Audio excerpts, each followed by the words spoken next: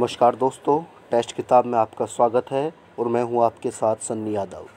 आज हम बात करेंगे भारतीय संविधान की अनुसूचियों के संबंध में। तो अगर हम पहला बिंदु देखें तो पहला बिंदु है मूल संविधान में अनुसूचियों की संख्या आठ थी, वर्तमान में इनकी संख्या बारह है। यानी जो हमारा ओरिजिनल कॉन्स्टिट्यूशन था, मूल संविधान था, उसमें अनुसूचियों की संख्या आठ थी, परंतु अगर वर्तमान में देखें तो वर्तमान में अनुसूचियों की संख्या कितनी है तो बारह है। तो एक क्वेश्चन तो आपका यहीं से बन जाएगा। तो आपसे पूछेगा कि मूल संविधान में अनुसूची कितनी थी? तो आठ। वर्तमान में अनुसूची कितनी है? तो बारह। हमारे बारह के बारह अनुसूची याद होनी चाहिए। हमें पता होना चाहिए कि किस अनुसूची में क्या चीज़ दी गई है। तो आइए हम बात करते हैं हम पहली अनुसूची की। अगर हम पहली अनुसूची की बात करें तो पहली अनुसूची में है राज्यों व संघ राज्य क्षेत्रों के नाम व सीमाएँ। देखिए, बात समझिए। वर्तमान में भारत में कितने राज्य हैं और कितने केंद्र शासित प्रदेश हैं? प्रत्येक राज्य केंद्र शासित प्रदेश की सीमा कहाँ तक है? इन सभी चीज़ों का जो हमें पता लगता है, पता लगता है अनुसूची एक से। आज वर्तमान में अट्ठाईस राज्य हैं, आठ केंद्र शासित प्रदेश हैं। तो ये सारी की सारी जो बात बताई गई है अनुसूची एक में बताई गई है कि किस राज्य की सीमा या किस राज्य का क्षेत्र कहाँ तक है। उसके बाद बात करें अनुसूची दो। अगर अनुसूची दो की बात करें तो अनुसूची दो में है प्रमुख पदाधिकारियों के वेतन और भत्ते। जो प्रमुख पदाधिकारी, राष्ट्रपति हो गया, राज्य, उपराष्ट्रपति हो गया, आपका लोकसभा का अध्यक्ष होगा, यहाँ आपके सुप्रीम कोर्ट, हाई कोर्ट के जज हो गए उन सभी के वेतन और भत्तों के जो विषय में बताया गया है, वो अनुसूची दो में बताया गया है। ये बात आप याद रखेंगे। उसके बाद बात करें अनुसूची तीसरी, यानी तीसरी अनुसूची तो प्रमुख पदाधिकारियों की शपथ का प्रारूप। जो प्रमुख प्रमुख पदाधिकारी है, supreme court, high court, Lok Sabha का अध्यक्ष, उपाध्यक्ष, राज्यसभा का उपसभापति M P M L A ये सर, केंद्रीय, आपके स्टेट गवर्नमेंट के जो मंत्री हैं, उन सभी की जो शपथ का जो फॉर्मेट दिया गया है, वो अनुसूची तीन में दिया गया है। यानी तीसरी अनुसूची में बताया गया है कि उनकी शपथ किस प्रकार से होगी, उनकी शपथ का प्रारूप क्या होगा। उसी के साथ आप एक महत्वपूर्ण बिंदु यहाँ पे याद रखेंगे कि राष्ट्रपति, उपराष्ट्रपति और राष्ट्रपति, उपराष्ट्रपति और राज्यपाल की शपथ का वर्णन अनुसूची तीन में नहीं है। यानी कि जो आपका राष्ट्रपति, उपराष्ट्रपति और राज्यपाल है, इनकी शपथ का वर्णन अनुसूची तीन में नहीं है।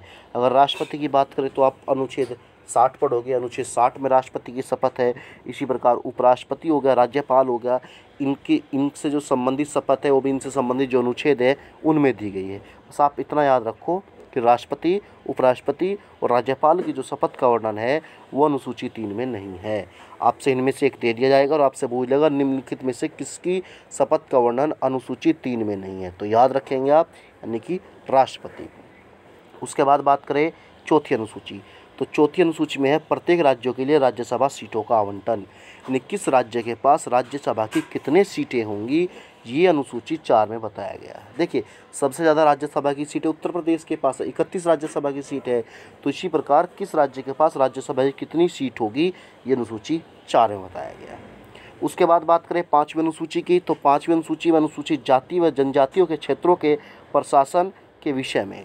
अब सिंपल से शब्दों में याद रखो, अनुसूचित जाति यानी एससी, अनुसूचित जनजाति यानी कि एसटी, यानी इसमें एससी और एसटी के संबंध में बताया गया है। आप इतनी बात याद रखो। भाई देखिए, बात समझिए पहली अनुसूची में एक परिचय हो गया हमारे देश का, दूसरी अनुसूची में वेतन और भत्ते हो गए, तीसरी में शपथ हो गए, चौथी में राज्यसभा सीटों का आवंटन हो गया और पाँचवीं में क्या होगा, एससी और एसटी हो गया। तो आप ये बात याद रखेंगे। इसके बाद हम बात करते हैं अनुसूची छः की।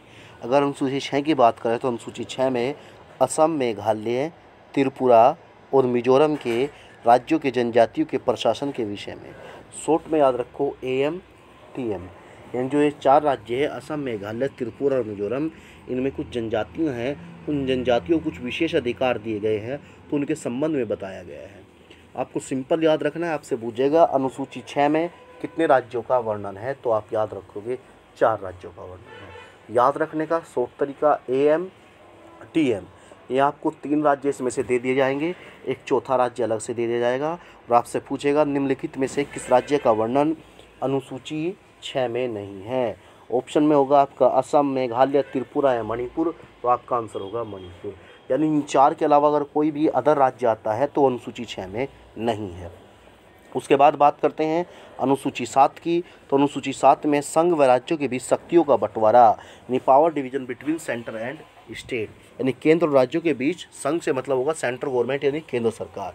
इसमें केंद्र और राज्यों के बीच शक्तियों का बंटवारा दिया गया है कि क्या विषय किसके पास होंगे।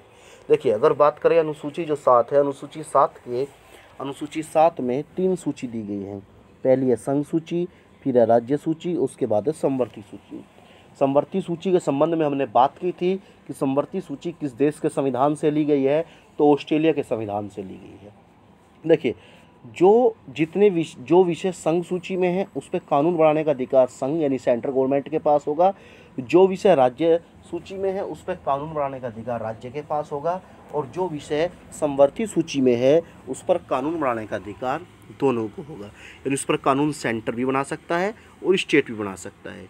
तो अगर आपसे पूछता है, शक्तियों का बंटवारा किस अनुसूची में है तो अनुसूची सात में है। अनुसूची सात में कितनी सूची है? तो तीन सूची है, संघ सूची, राज्य सूची और हमारी संवर्ती सूची। इसी के साथ आप ये भी बात याद रखोगे। इसी के साथ आप ये बात याद रखोगे कि जो संघ सूची है, उस संघ सूची में आज सौ विषय हैं। कितने विषय हैं? सौ विषय हैं। मूल संविधान में कितने थे? तो सत्तानवे थे। राज्य सूची की बात करें तो राज्य सूची में आज कितने हैं? इकसठ हैं। मूल संविधान में कितने थे? छियासठ थे। समवर्ती सूची की बात करें तो आज बावन है। मूल संविधान में कितने थे? तो सैंतालीस थे। ये फैक्ट भी आपको याद रखने पड़ेंगे, आपसे पूछ लेगा।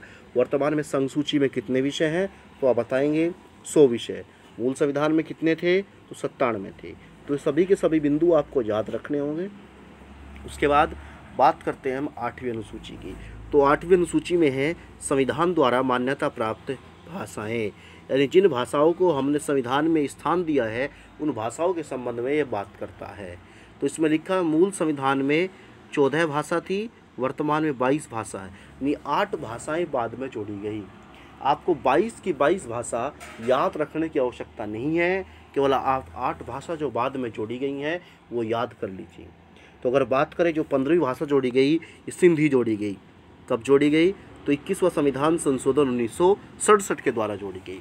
तो आपसे पूछेगा पंद्रहवीं भाषा कौन सी जुड़ी? तो सिंधी जुड़ी। किस वर्ष जुड़ी? उन्नीस सौ सड़सठ में जुड़ी। मेनली अगर सिंधी भाषा देखी जाए तो पाकिस्तान के सिंध प्रांत में बोली जाती है, लेकिन बाद में जब देश आज़ाद हुआ तो शरणार्थी के रूप में बहुत सारे लोग वहाँ से आके मेनली गुजरात में बस गए थे, कुछ महाराष्ट्र में भी। अगर देखा जाए तो गुजरात और महाराष्ट्र में थोड़ी बहुत आपकी जो सिंधी भाषी लोग हैं, वो ये भाषा बोलते हैं। उसके बाद बात करें तो इकहत्तरवा संविधान संशोधन हुआ उन्नीस में। उसके द्वारा तीन भाषाएँ जोड़ी गई, नेपाली कोंकणी और मणिपुरी। तो आप याद रखेंगे, पंद्रहवीं कौन सी जुड़ी थी? सिंधी। उसके बाद तीन भाषा एक साथ जुड़ी। नेपाली, अगर नेपाली की बात करें तो मेरे नेपाल बोली जाती है और जो भारत का नेपाल से सीमावर्ती क्षेत्र है, उसमें भी इसका प्रभाव देखने के लिए मिलता है।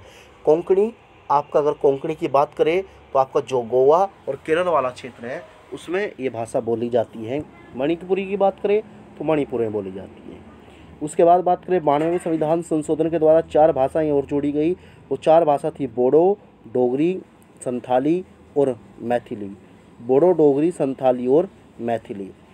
देखिए, अगर बोडो की बात करें तो बोडो असम में बोली जाती है, जो जनजाति, बोडो जनजाति है, उसके द्वारा डोगरी की बात करें तो आपका जम्मू कश्मीर, संथाली की बात करें, छत्तीसगढ़ और झारखंड की जो जनजातियाँ हैं, उनमें बोली जाती है ये। और मैथिली की बात करें तो बिहार में। तो आप ये बातें याद रखोगे। ठीक है, उसके बाद बात करें तो नौवीं अनुसूची। नौवीं अनुसूची है भूमि सुधार व जमींदारी उन्मूलन से संबंधित। देखिए, जब देश आज़ाद हुआ तो उस समय देश में जो किसान थे, उनकी स्थिति दयनीय थी। अगर किसी के पास ज़मीन भी थी तो ज़मीन जो थी, उसका आकार, जोत का आकार बहुत छोटा था। तो उसी में सुधार करने के लिए फिर नौवीं अनुसूची जोड़ी गई और ये नौवीं अनुसूची आप याद रखेंगे, भूमि सुधार और जमींदारी। यानी भारत में जो जमींदारी प्रथा थी, उसे समाप्त करने के लिए ये नौवीं अनुसूची जोड़ी गई थी। तो याद रखेंगे तो नौवीं अनुसूची किस संविधान संशोधन के द्वारा जोड़ी गई? तो प्रथम संविधान संशोधन उन्नीस सौ इक्यावन के द्वारा नौवीं अनुसूची जोड़ी गई थी।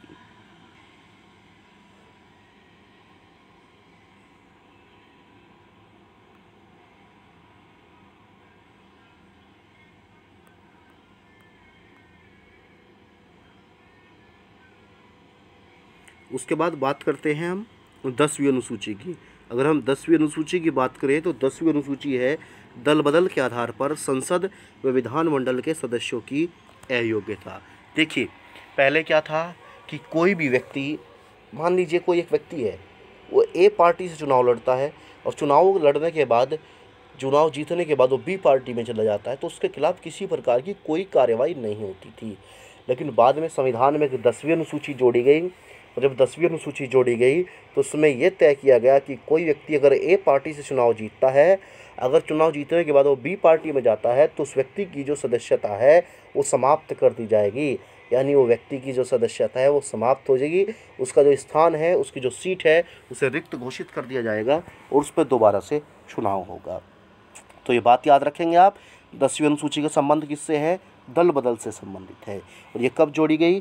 तो बावनवा संविधान संशोधन उन्नीस के द्वारा जोड़ी गई। उसके बाद बात करें हम ग्यारहवीं अनुसूची की तो अगर ग्यारहवीं अनुसूची की बात करें तो ग्यारहवीं अनुसूची का संबंध है ग्राम पंचायत से, ग्राम पंचायत से। और इस ग्राम पंचायत से संबंध है, और ग्राम पंचायत के पास कितने विषय हैं? उनतीस विषय दिए गए हैं। जो गाँव का जो प्रधान है, जो ग्राम पंचायत अध्यक्ष है, उसके पास उनतीस विषय हैं, उनतीस पावर्स हैं, वो जिनसे, जिन उनतीस विषयों पर कानून बना सकता है।